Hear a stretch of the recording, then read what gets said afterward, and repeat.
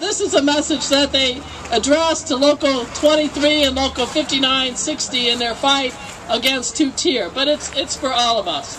To Local 23 and Local 5960 members, keeping the big three competitive must not imply starving working class families who are not responsible for the economic crisis nor for the mismanagement. Last September, the Brazilian auto workers got a 9 to 10% increase in wages through struggle. The increase in wages did not prevent the auto industry from making money.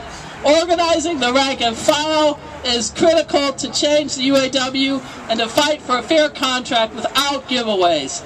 We will publicize your struggle among Brazilian auto workers and will be involved in any call for international solidarity.